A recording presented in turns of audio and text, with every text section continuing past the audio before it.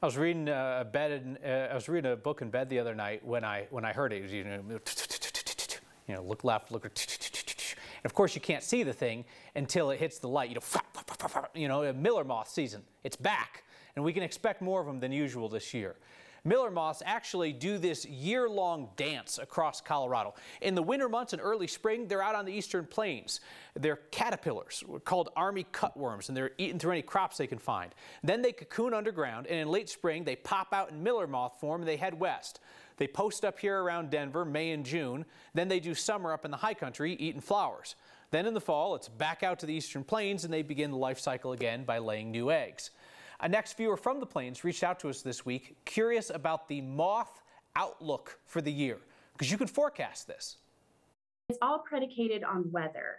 And if the weather is uh, supportive of, of these Miller moths, then we'll see really good numbers, um, especially in the spring. So during the spring, if we have dry or sometimes wet weather, but not too cold, we'll see really ample numbers of Miller moths being very successful. But if we see really hard freezes in um, early spring, then generally we'll see lower Miller moth numbers.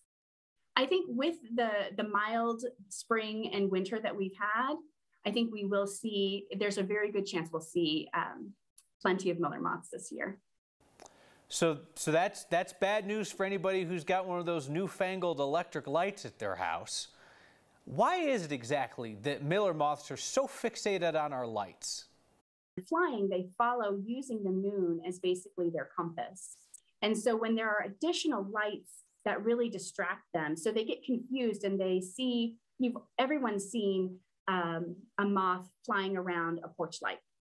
And they are basically trying to organize in their mind from a, like from a compass perspective, like this is my this is my directional um, North Star, if you will. And I'm going to keep going towards the North Star, but I'm going to keep hitting the North Star. You, you fool, that's not the North Star. That's my, that's my book light. Uh, the best way to keep them out of your house, of course, is just to turn off as many lights as possible. That way they'll go to your neighbors instead. Uh, Miller moths may annoy us, but they are delicious to birds and to bears up in the high country. So in the end, they're actually, they're pretty good for our ecosystem.